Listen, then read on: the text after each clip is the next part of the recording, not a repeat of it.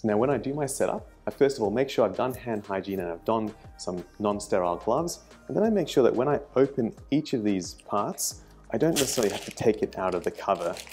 I can open the cannula like that. And even though it has a cap, you can often just keep it in its plastic wrapper just like so. Same with the IV bung. You don't need to take it out of the wrapper. You can just hold it at the last minute and keep it kind of clean and have a micro sterile field there is what they call it. I can use this when I need to use it.